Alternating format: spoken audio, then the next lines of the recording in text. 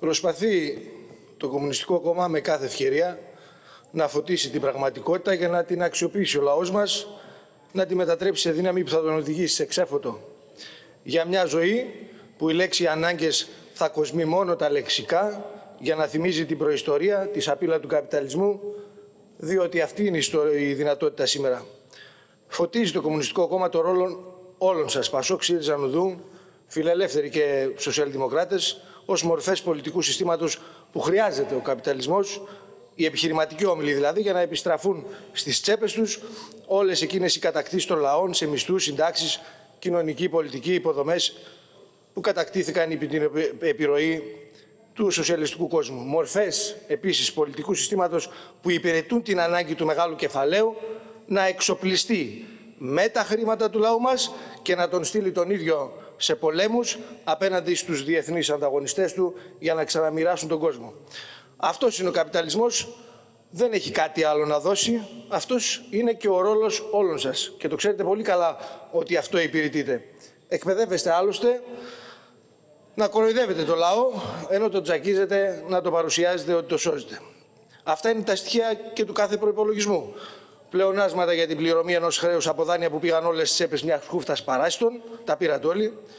Που ο λαός δεν πήρε ούτε ευρώ, που το πλήρωσε έω τώρα πενταπλάσιο και θα συνεχίσει να το πληρώνει εσαΐ. Όλοι σας όμως τον τρομοκρατείτε ότι πρέπει να συνεχίσει να πληρώνει βαριά. Για να τον σώσετε βέβαια, ενώ ξέρετε ότι δεν πήρε ούτε ευρώ. Συνεχώς αυξημένα τα κονδύλια για στρατιωτικούς επιθετικούς εξοπλισμούς, έχοντας όλοι συμφωνήσει να κάνετε το λαό μας στόχο, χωρίς καν να τον ρωτήσετε. Και από πάνω συμφωνήσατε πρόσφατα πάλι όλοι, Πασόκ, Νουδού, ΣΥΡΙΖΑ, στον ατοικό καταμερισμό της χώρας μας για πυρηνική περικύκλωση της Ρωσίας. Σε κάθε προϋπολογισμό περισσότερα δις ευρώ για τους ομίλους, λιγότερα σε μισθούς συντάξεις, κοινωνική πολιτική, είτε με απευθείας περικοπές, είτε μέσω του πληθωρισμού.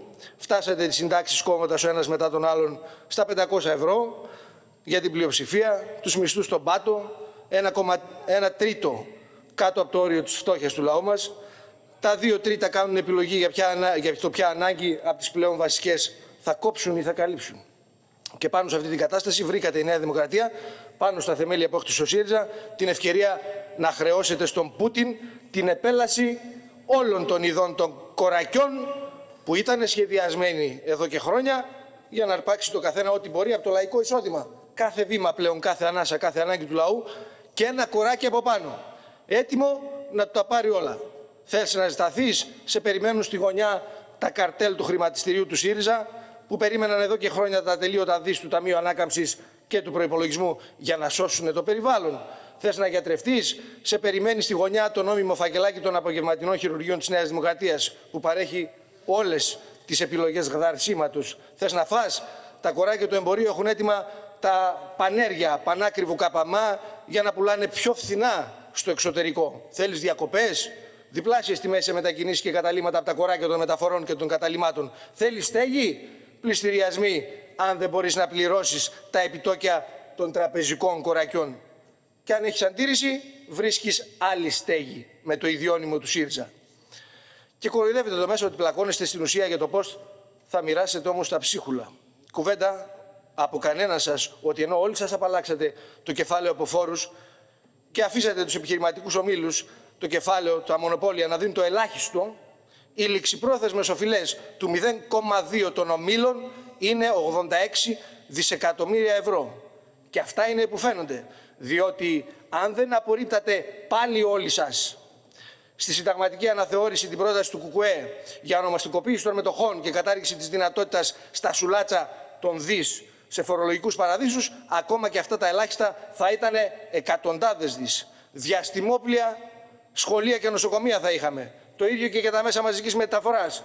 Τα έργα υποδομής, αντιπλημμυρικά, αντιπυρικά για τις ανάγκες του λαού, ελάφρυνση των αγροτών και των αυταπασχολούμενων, αυξήσεις των μισθών και των συντάξεων στο ύψος των αναγκών. Και διαφημίζουν τα μέσα μαζικής ενημέρωσης της Νέας Δημοκρατίας ότι θα ρίξουν ένα ολόκληρο δισεκατομμύριο στη Θεσσαλονίκη για να γίνει ε, να γίνουν μεγάλα έργα, το flyover, λιμάνια, αεροδρόμια, δρόμοι κτλ. Για να μπορέσει να καταλάβει κάποιος τις αντιθέσεις.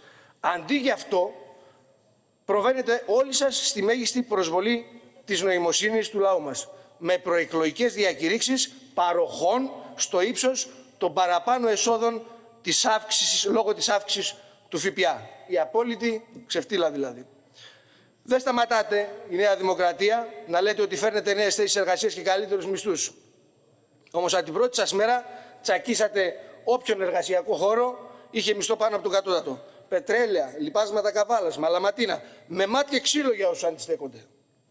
Το ίδιο προσπαθείτε στη Λάρκο.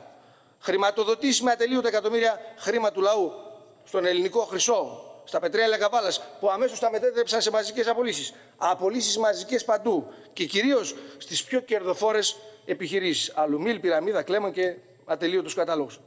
Λέτε ότι έρχονται επενδύσεις. Φυσικά και έρχονται και κάποιες, κάποιοι θα έρθουν. Αφού ανταγωνίζεστε μέχρι και την Ινδία για το ποιος προσφέρει τα καλύτερα δουλικά.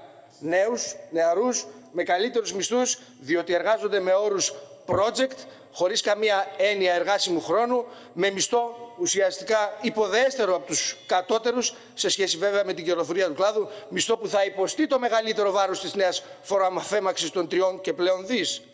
Νέοι εργαζόμενοι με σημαντικό επιστημονικό υπόβαθρο που τους ξεκουζουμίζουν τα διεθνή ψηφιακά φασονατζίδικα που πριν κλείσουν τα φώτα της προπαγάνδας σας ζητάνε εδώ και καιρό από τους εργαζόμενους τροποποιητικές συμβάσεις με μειώσεις. Ενώ θα μπορούσαν αυτοί οι εργαζόμενοι στη χώρα μας και το δυναμικό, το επιστημονικό που έχουν να εκτοξεύσουν τα μέσα παραγωγής, την παραγωγικότητα της εργασίας, τις υπηρεσίες με τους αυτοματισμούς και τις νέες τεχνολογίες. Επιστροφή στο μεσαίωνα για όλους τους εργαζόμενους, διότι ο, μεσαίας, ο μεσαίωνας δεν κρίνεται από τα μέσα παραγωγής, δεν κρίνεται από το αν έχεις τάμπλετ για όλες τις δουλειές ή από το αν έχεις φθηνό εισιτήριο αεροπορικό λόγω, για να έχεις την κινητικότητα για να μπορέσεις σου ξεζουμίζει πιο εύκολα κάθε κοράκι όπου γης κρίνεται από το γεγονός ότι φτάσατε τον ανθρώπινο εγκέφαλο να λειτουργεί 24 ώρες ή για να βγάζει κέρδη για τα παράσιτα ή για την επιβίωση.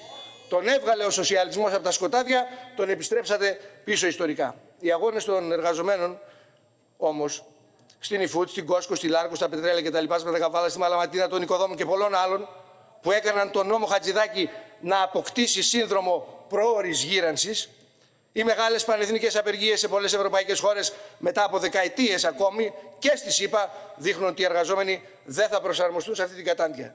Μπορεί να καταφέρνετε μέχρι τώρα να εγκλωβίζετε τους εργαζόμενους στη λογική της επιλογής του μικρότερου κακού, αλλά πλέον τους περνάτε από το κατόφλι μιας άλλης εποχής, όπου η θυσία για την ανατροπή αυτής της απειλής θα είναι πολύ πιο μικρή από το να τη ζήσουν ολόκληρες γενιές.